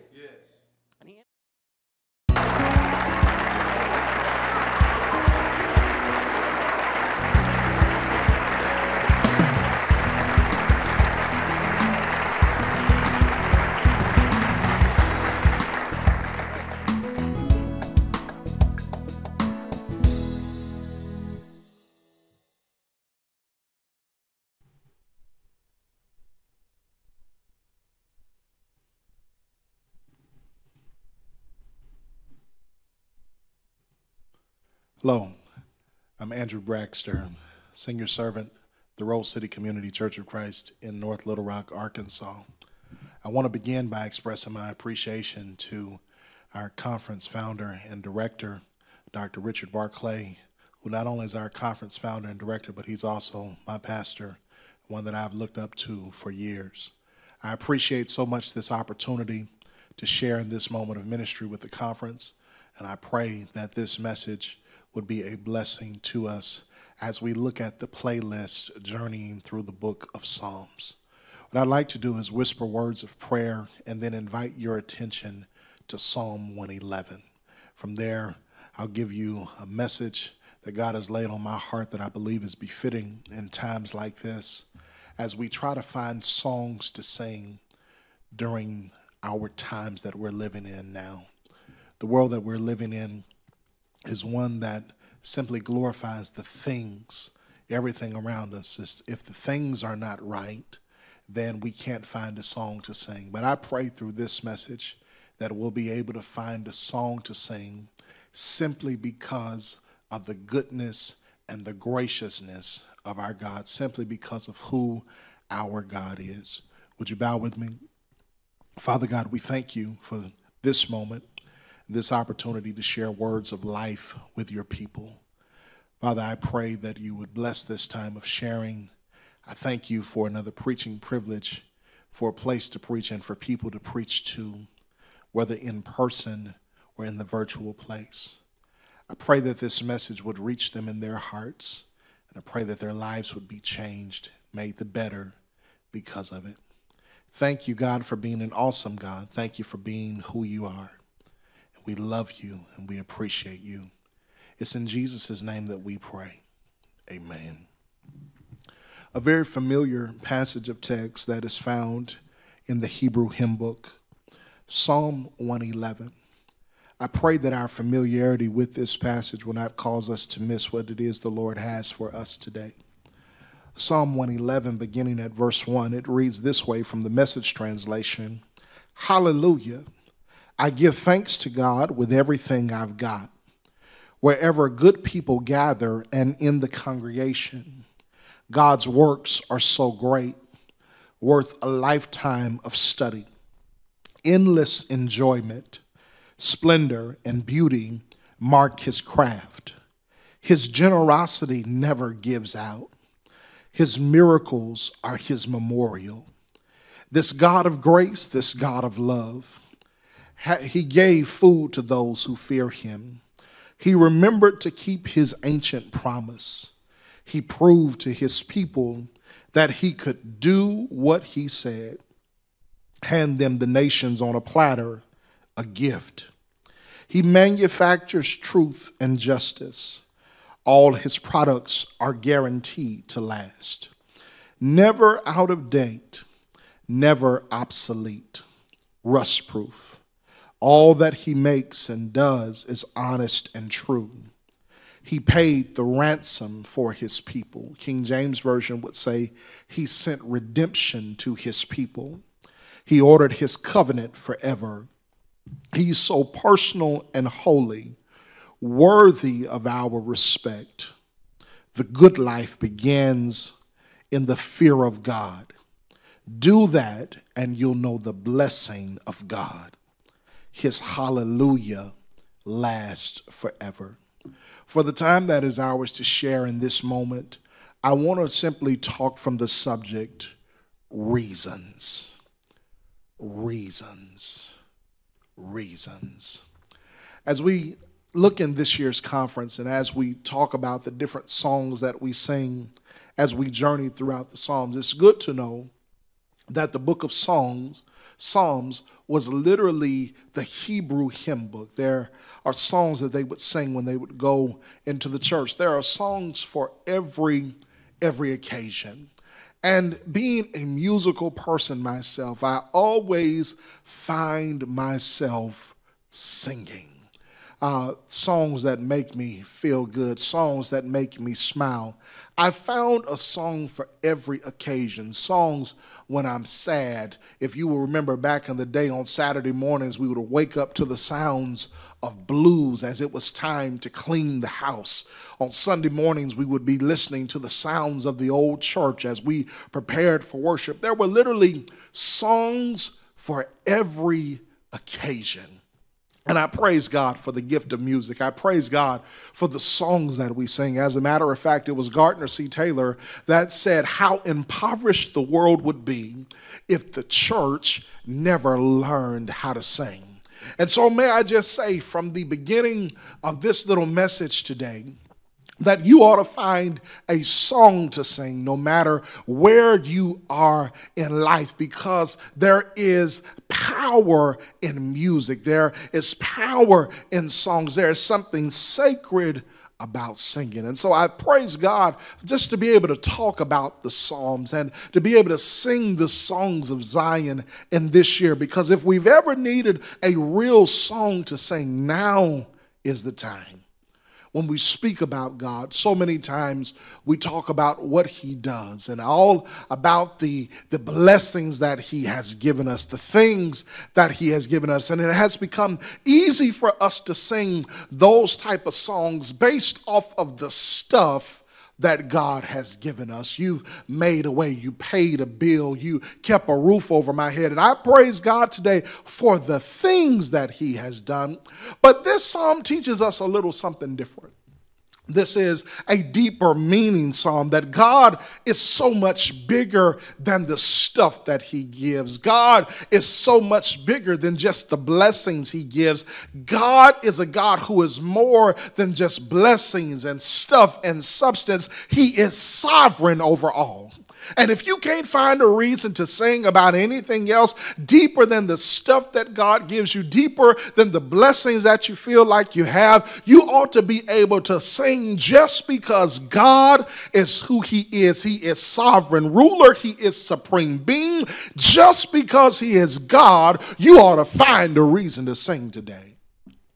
A friend of mine by the name of Harold Wade Jr wrote a song to which I have titled this little presentation after, simply called Reasons. And in that song that he has written, he talks about the worthiness of God. He talks about the honor of God. He talks about the gloriness, uh, the, the gloriousness of God. And because he is all of those things, it simply makes him worthy to be praised such as the discourse and the discipline that is discovered here in Psalm 111. The psalmist simply talks about how worthy God is, how awesome God is, how amazing God is, even before you get to the stuff, even before you get to the blessings, even before you get to the tangible things of God, simply because of who God is, God is worthy to be praised.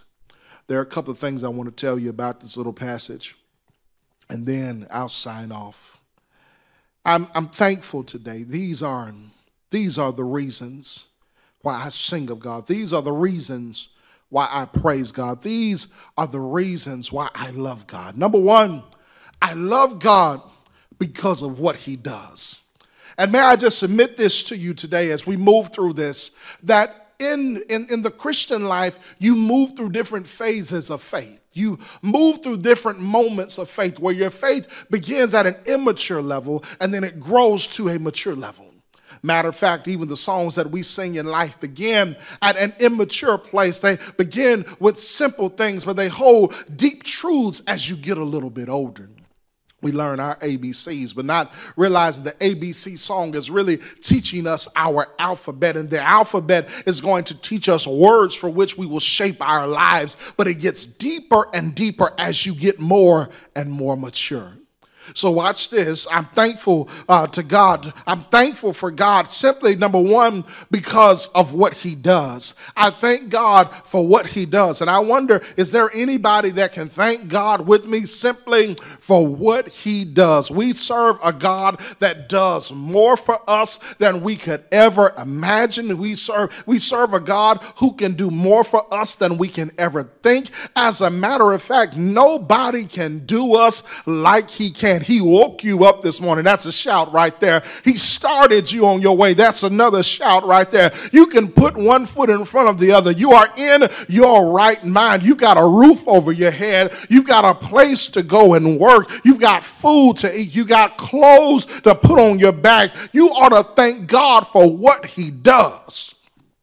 And whereas we thank God many times for the things that he does, those things that we can see, those things that we can feel. There are so many things that are invaluable, things that cannot even be touched, but God just keeps on doing it. I, I, I didn't understand it growing up, but now as I've gotten a little bit older and I've been through some things in life, I understand now what it means for God to be a mind regulator, for God to be a company keeper, for Him to be the peace that passeth all understanding. Those are things that money cannot buy. And because God is so great, I'm thankful not just for the stuff that I can see and feel, but I'm thankful for those things that I have to keep in my heart. What an awesome God. What an amazing God we serve because of what he does.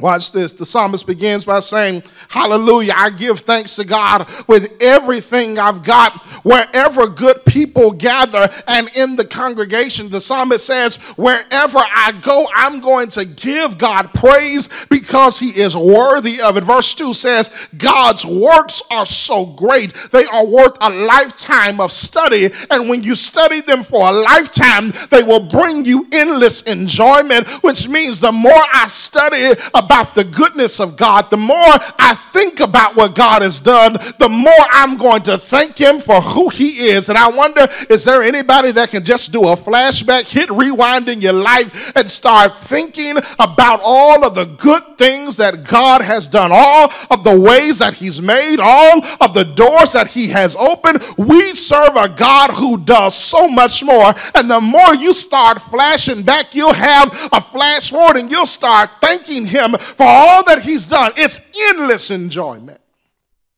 It's, it's something that brings a constant smile to your face because you're thinking about the good things that God has done. But once you move past the stuff, uh, once you move past the stuff, the biggest thing, the biggest thing that we can shout off of is not just that he's fought our battles, not just that he has made our enemies our footstool, not just that he has put food on our table and clothes on our back, but the thing that should shout us the most is what verse number nine says. And if you miss verse number nine, you miss the entire being of the psalm and why it was written. Watch this. He sent redemption unto his people.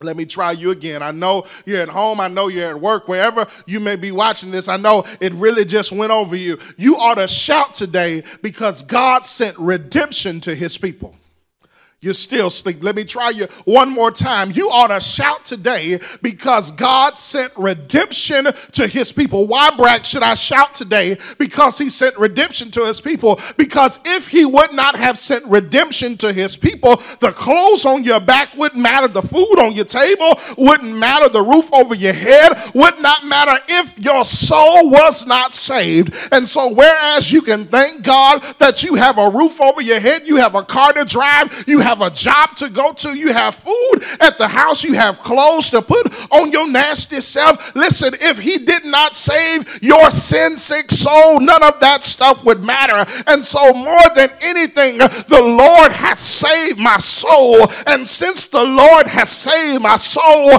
that is reason enough for me to be thankful for him because the Lord has saved my soul. He has made me whole. He has picked me up, turned me around, placed my feet feet on solid ground. I thank God for sending redemption to his people. We were on our way to a burning hell. We had been sold to the lowest bidder, but he comes and he pays the highest price. And he sends redemption to his people. And that's what God does. God redeems his people. God saves his people. For the wages of sin is death, but the gift of God is eternal life. He who knew no sin became sin that we might become the righteousness of God. That's what God does. He saves me. He creates in me a clean heart, renews in me a right spirit. But not only am I thankful for what God does, this is, this is where we move in our faith. Uh, we are, we're, we're thankful for what He does, but I'm, I'm also thankful for how God is designed. I'm, I'm, I'm, thankful for how God is designed. If you're not mature in your faith, this one may scare you. It, it, it may perplex you a little bit. But there's something about the design of God, the D E S I G H N of God, how He is designed that makes me want to sing to Him. Watch this, watch this.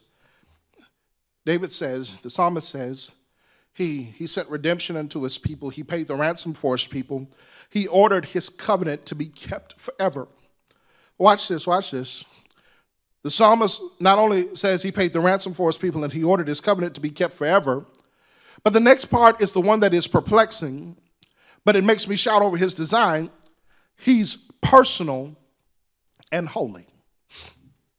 He's personal and holy. He is personal and holy. He's personal and holy. It's really oxymoronic. He is personal, he's a personal God but he is a holy God. He is a personal God, but he is a holy God. He is a personal God, but he is a holy God. Here's the issue. This is the reason why it's oxymoronic to me. This is why it doesn't make sense, but it makes me shout. The personalness of God draws him close to me, but the holiness of God draws him away from me. Because God is so holy, I should not be able to coexist or dwell in the same place as him because he is a holy God. And anything that is holy cannot dwell in the same place with a thing that is unholy. We are unholy humanity. Our sin separates us from God. It, it, it separates us from God. It creates a great gap in between us and our God. But though our sin separates us from God, He has found a way for Him to come close to us. Because He is a holy God and because I am sinful man, I should not be able to come into His presence because the smell of my sin disgusts Him it makes him nauseous. It makes him sick to his stomach. He is so holy. He has asked his people to be holy, for I am holy. He wants us to imitate his holiness. He encourages us to walk in a place of holiness. As a matter of fact, he's so holy. He's so beautiful. His his, his, his, his splendor, his, his presence is, is so awesome that even when he is talking with Moses, Moses asks, Can I see you? And he tells him, Listen, if I allow you to see my face because I am so holy, it will literally kill you. The holiness on me will kill the hell that's in you. So he says, What I'll do for you, because I cannot allow you to see my face because it's too much for you to handle, I'll cover your face and I'll pass in front of you and I'll allow you to see my backside. And even the backside of God was too much because he's so holy. But watch this, watch this, watch this. Although he's so holy, although he's so awesome, although his splendor is so much. Matter of fact, He's so holy that when we get on the other side, when we get to the other side and we sit around the throne of God, we will sing a song about the holiness of God, and the song will only have one word it will be holy, holy, holy, holy, holy, holy. As a matter of fact, God is so holy that there are 24 elders that are surrounding the throne that have taken off their crowns and have thrown them at his feet because in the presence of this holy God, they are nothing. He's holy. Oh, but in all of his holiness, the psalmist says, he's personal. That shouts me, that makes me want to sing, because even though he is a holy God, he is still a personal God.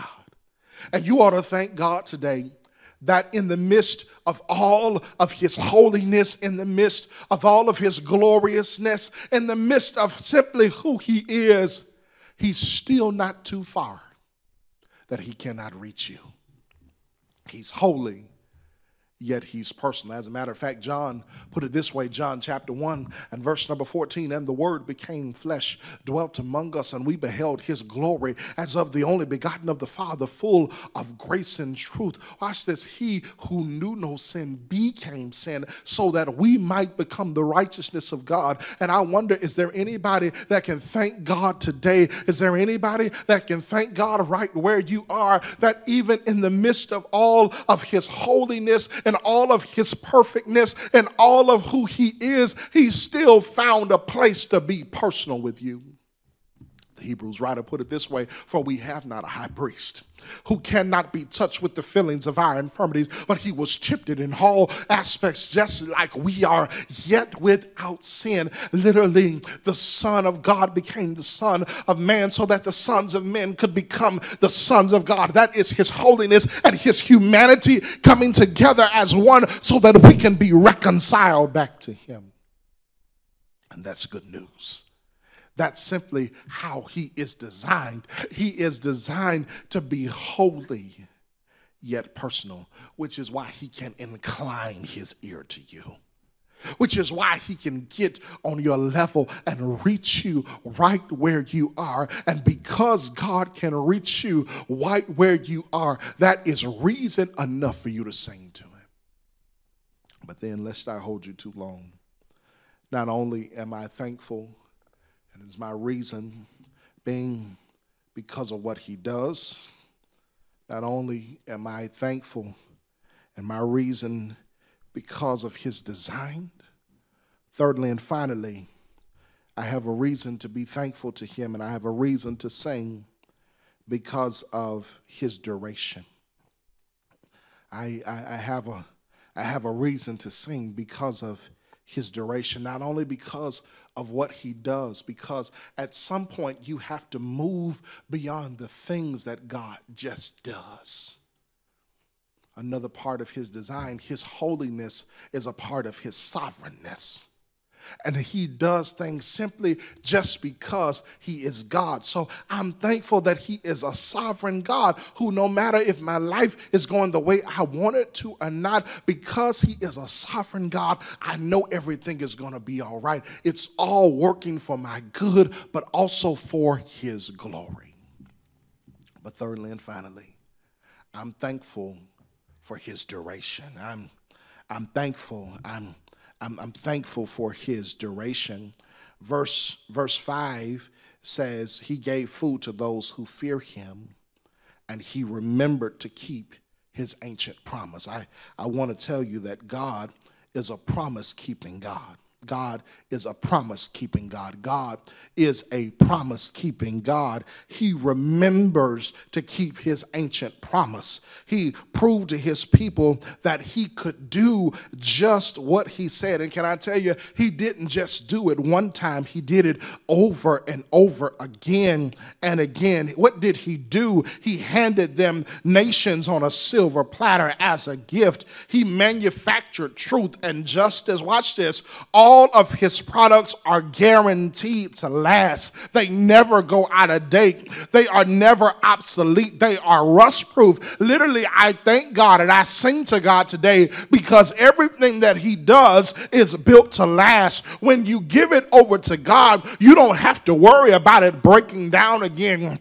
when you give it over to God, you don't have to worry about it rusting out or running out. God, what He does is give it to you and it will last a lifetime. Even if it's not a run over, it will never run out because what He does is meant to last. As you read throughout the Psalms and as we've been going throughout this conference, I'm certain that you have been hearing that His love endures forever, His mercy endures forever. And I want to tell you that everything about God, it will endure forever. So you ought to thank God that we serve a God who does not have an expiration date. You ought to thank God that we serve a God who will not run out, who will never get tired, who will not give in, who will not give up because everything about him it lasts forever. So go on and sing your song today because his love lasts forever. Go on and sing today because his mercy endures forever. Go ahead and sing today because his grace lasts forever. Go ahead and sing today because his salvation lasts forever and he will last forever. And one of these days, when we close our eyes on this side and we wake up on the other side, we will live with him forever. So I've got to close this little message, but I want to tell you today that you have a reason to thank God. You have a reason to sing to God, and it's simply because of what He does. It's simply because of how He's designed, but most of all, it's because we serve a God that will last forever. And one of these days, we'll be around the throne singing a song of God that will last forever. We'll be enjoying eternity in His splendor because all of the saints of God will be with Him forever. So, as I leave you, may the Lord bless you real good. I have a question for you. Have you any rivers that seem uncrossable? Have you any mountains that you cannot tunnel through? Can I tell you that my God specializes in things that seem impossible and he will do what no other power can do? That's what he does. That's how he designed. That's how he is designed. And most of all, he has fixed it and it will last forever. And those are the reasons. Those are the reasons that I sing. Those are the reasons why I sing my song. I sing because I'm happy. I sing because I'm free. His eye is on the sparrow, and I know he watches me. It's what he does, it's how he's designed. but it's how he will last forever and ever. God, thank you. Thank you, God, for being a God that will last forever. Thank you for saving our soul. Thank you for making us whole. And thank you in the midst of your holiness. Thank you for touching our humanity through your sovereignty. And just as you love us forever, may we live for you forever. You by yourself are reason enough to sing. Thank you. In Jesus' name.